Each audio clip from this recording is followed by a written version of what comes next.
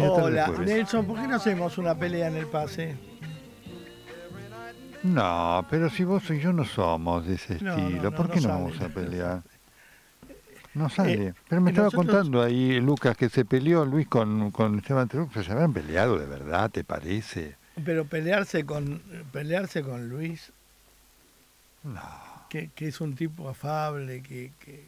Pero sí, muy divertido. me es el pelado. sí el que se le subió un poquito a la cabeza. ¿Te parece? ¿Te parece? A lo mejor tenía un problema ahí. Eh, sí, es Luis. le, decíamos que mañana sean amigos, se den un abrazo, hace que termina toda mañana con un abrazo y todo eso, ¿sí? ¿No será una teoría, una teoría que tiene Juan Cruz para hacerlos pelear y que la gente vea? Muy divertido. Muy divertido. ¿No es cierto? Muy divertido. Porque se peleó Novarecio con Santillán. Antes se peleó que se pelearon, Feynman con Viale. Ahora hay todo, pero che, es una pecera de vanidades. qué malo que eso. Pero, qué tremendo, qué no. Eh, eh, nosotros nunca, sí, así No, nosotros hicimos un pacto de amistad. Absolutamente. Bueno, prepárate, escúchame, el 9 anótate la fecha, ¿sí? El mes que viene, ¿sí? ¿Para qué? No, el paro. ¿Otro par más? Sí, de esos que hace la CGT, ¿viste? Se ve que están... Vos sabés que yo tengo algo para decirte sobre eso, ¿no? Y la pregunta es, nos llenamos la boca con, ay, Maru me dio un beso me, me, me, sangra los labios. Parece la copa rota la canción. Este, eh, escúchame, Nelson, eh, no, la verdad, eh, los argentinos, ¿somos para vivir en democracia? Es una pregunta que no se podía hacer con Cristina o se ofendía. Pero, ¿por qué ansiamos tanto la dictadura? La dictadura de la, de la República, no, no la dictadura de los milicos. Olvídate eso. Pero ¿por qué llamamos a gritos? Porque antes, cuando vinieron los milicos, veníamos de una dictadura de los montoneros. Pero ¿por, ¿por qué ansiamos tanto que todo se destruya? No entiendo. Sí, sí, sí, es, es, una cosa, bueno, está ahí en el origen del fracaso. De, en el caso, en este caso de la CGT, es tan claro que los, los dirigentes están defendiendo. Mira, hoy Daer dijo una cosa que muestra la mentira de todo esto. Dijo, desde noviembre los salarios se han venido deteriorando. Esto es verdad, por supuesto, como consecuencia de ajustes, pero yo no recuerdo que en noviembre hayan hecho un paro contra Massa cuando empezó a deteriorarse. No, ni contra Alberto. Tampoco. Entonces, que ya se venía deteriorando, otra que en noviembre, ¿no? Vos sabés que, mm, vos sabés que hoy hablé, estaba hablando de las prepagas, ¿no? Quiero que me acompañes en mm. este pensamiento. Entonces yo digo, los señores que tienen prepaga venden Rolex. Rolex es un reloj caro, le explicamos a la gente, que para algunos. Ahora también está Seiko, eh, está Citizen, y están algunos sin mm. marca que también dan la hora perfectamente igual que un Rolex o mejor. Mm. Está en uno si lo quiere pagar o no. Si el Estado no te da medicina, los hospitales son necesarios porque se robaron todo lo que hay adentro. En 40 años no pudieron poner un tomógrafo en algunos hospitales. Y aparece un señor que vende medicina a 200 mil pesos por mes. Vos como Estado sos un fracaso y pagás 200 mil pesos por mes. No le podés echar al que vende su medicina en 200 mil pesos por mes porque es optativo. Si querés la tenés, si no querés no la tenés. Pero lo que tiene que hacer el Estado es pagar 2 millones por mes para que el tipo pueda pagar 200 a la prepaga. ¿Es así o me equivoco? No, no, el tema, ¿sabés qué es lo que yo le critico? Totalmente yo digo esto, ¿no? Si hoy las prepagas dejaron de existir, el sistema de salud pública de la Argentina, que ya está colapsado, colapsa. Se muere. Totalmente. Ahora, lo que yo les critico a las pruebas, yo además entiendo todo el tema de los costos de la medicina, pero les critico su indiferencia ante, porque vos también tenés que saber, mira, ante gente que, que, pagó durante 30 años y que hoy no tiene, porque una persona de 30 años puede tener una posibilidad, bueno, yo me voy de AVE, el que tiene 60, 60 y pico ya no puede, entonces yo lo que le digo, a veces yo he hablado muchas veces con Pelocopit, ¿eh? le digo, a esa gente ustedes tienen que considerarla y ver cómo se las ayuda a mantenerse en el sistema, porque la gente quiere mantenerse en el sistema. Tiene un problema, como vos decís, no gana dos millones, pagó 30 años, digamos, ha cumplido para pagar, está haciendo esfuerzo para pagar. no la podés dejar afuera del sistema absolutamente. Eso es lo que yo les critico. En honor a la verdad, hoy hablé con Velocopit. Y te voy a explicar por qué hablé con Velocopit. Primero porque es mi amigo. Y segundo porque cuando yo tuve un problema de salud con mi mujer y no era Babi, me mm. respondió perfectamente bien. Perfectamente bien. Él lo hace habitualmente. Eso es un, es un caballero. bueno, el, el, tema me dice, Babi, está todo bien. Nos podemos sentar y hablar la forma pero no puede salir el presidente o alguno de los coláteres de él a decirme delincuente y a ponerme como el enemigo público número uno. Y en eso tiene razón, porque es un empresario privado. Es lo que está pasando además con todo lo que hace el presidente. Creo que acá lo venimos señalando, ¿no? El hecho de que vos, porque lo criticás, sos un delincuente, esto, un comprador. Así que eso es un error enorme que sigue cometiendo mi ley, ¿no? Porque yo me junté para que me explique. Porque le digo, pero hoy eh, me dice, bien, en la calle me para la gente y yo doy un servicio. Es como un avión, me explicó.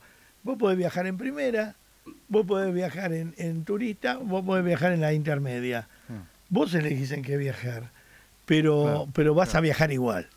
Entonces, si el Estado no tiene cobertura, el Estado puede colapsar en cuanto velocopice en gripe. Bueno, cuidalo, sentalo a una mesa, fíjate qué elasticidad ponen de cada lado, que eso es la política, la negociación. No empezar a decir, este es un delincuente. Además, hay 20 medicinas prepagas, 9 Locopin. No, no, por supuesto, por supuesto. Y con respecto a juntarse, con respecto esto y Muy importante, y quiero, y quiero poner esto que vos decís de la porque es muy buen ejemplo, pero para llamar la atención en esto unos viajan en primera, otros viajan en económica, pero todos llegan igualmente seguros. ¿Qué quiero decir con esto? Sí. Que hay una obligación para el que paga 500 que pueda tener un poco más de rapidez, pero a todos se les debe dar medicina de igual calidad. Ese es un desafío fenomenal que debo decir, eh, Babi, lamentablemente no todas cumplen. Es verdad. No es el caso de las de... No, yo te le quiero... Eso sí, le quiero recordar a la gente que debería regular calidad. Le quiero recordar a la gente, yo no tengo Swiss Medical, tengo OSDE, porque no, no, no, no quiero abusar de una persona que conozco para que me dé un canje, viste en esto, pero tengo OSDE y lo pago. Pero a mí, cuando tuve Swiss Medical, fue el peor momento de mi vida, poca plata y un cáncer de colon terminal, y un día, una de esas pruebas pilotos que ya se lo quiero contar, Apareció un mentiroso, matasano, médico, chanta, que yo la opero y le pasa, anda. La operación costaba creo que 400, 300 mil pesos. Lo llamé a Claudio y le dije, esto me lo cubre Swiss Medical. Babi, no te dejes engañar por los mentirosos, pero si lo querés hacer, nosotros te cubrimos. Y esas cosas no te olvidas nunca. Entonces, cuando, cuando lo ponen como el enemigo público, lo menos que hago como periodista es ir a verlo y decirle vos sos enemigo público. Y está muy mal, ¿eh? está muy mal de ánimo, dijo, mira, tantos años de lucha, para que venga un tipo del gobierno que tampoco me dijo es el presidente, es un segunda fila, mm. y me ponga como el, patrón del mal, ¿viste? ¿Qué sé No, por supuesto. Eh, mira, eh, todo esto demuestra, este es un gran problema que tiene el gobierno, demuestra lo que es la, la, falta de consecuencia del diálogo, pero no porque lo digamos vos o yo, eh, Babi, sino por las cosas que tienen en esto que eh, repercuten en la gente. Una de las cosas que me encanta este pase es que hablamos de las cosas que nos pasan le pasa a la gente todos los días, ¿no es cierto? Con un poco de humor, con esto, con aquello. Vos y yo pagamos la, gente dice, esto me está pasando. Vos y yo pagamos prepaga. Pero no vamos a salir a, a pegarle a la prepaga, porque vos y yo ganamos bien.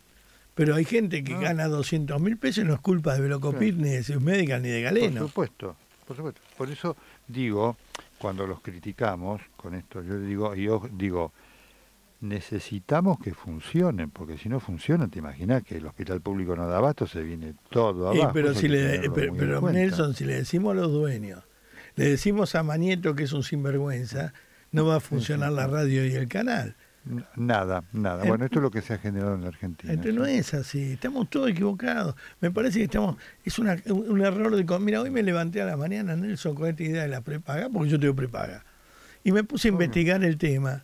Y la verdad que eh, con respecto a esto de, juntarse todos para ver el valor de la prepaga, que ahora lo denunciaron, pero es una empresa privada y si vos, Nelson, fabricás Coca-Cola y yo fabrico Coca-Cola, mm. nos vamos a llamar como se llaman los dueños de los medios para ver cuánto están pagando a los periodistas. para ponernos de acuerdo. por eso digo, obvio, es un tema de una tan delicado que obviamente lo sacó Caputo porque sé que le llegó la cuota de la prepaga alta, ¿no? pero esto, esto lo venimos diciendo nosotros, Babi, ya desde el año pasado, inclusive con los aumentos este, con, con el corset, que tenían que hacer algo, porque la gente, por supuesto, el, está, el cuello de botella está ahí, como vos decís, sigue ganando 500 mil pesos. Y la gente que, que tiene 60 y pico dice, no me quiero bajar de la prepaga. Y tienen razón. Eso que me y tienen razón. Entonces mm. hay que dialogar y ver cómo se logra una solución inteligente para eso que la hay, ¿no? Eh, yo creo que la única solución inteligente es la que no se tomó nunca. Sentarse a hablar, pero no hablar a ver quién la tiene más larga. Hablar y decir, en eso tenés razón, Hoy, mira, hoy tuve una discusión con el director de la radio. No discusión, un cambio de ideas. Donde dije, tenés razón. Si no te gusta, tenés razón. A mí no se me caen los anillos por decir tenés razón. Pero lleguemos a un diálogo. ¿Entendés? y él me dijo. decirlo al otro tenés razón. Pero, pero obvio, pero además te saca un montón de tiempo inútil de discutir pavadas con gente que no te ganas de discutir. ¿Entendés? No buscar el conflicto. Pero si seguimos yendo a buscar premios de alas de oro, el premio del venado tuerto y el premio y, no, no, no, no, no, no se hace coincido con vos, coincido con vos, coincido absolutamente con vos. Te busqué por todos lados para que nos peleemos y no, no, no agarraste chispa. No, querido, pero vos y yo. No, nosotros dos somos uno. el, totalmente. El que se pelee y se enoja pierde, querido. Es más, la gente no, no sabe que nacimos pegados por la oreja, somos idénticos. La gente nos ve y nos las siamesas. Sí. Es, muy bueno. Es muy bueno. Es que... Babi, gran programa y un saludo para la mesa. Un beso a Nelson, querido. Un beso. Chao, querido, hasta mañana. Chao, chao, chao. Hasta luego.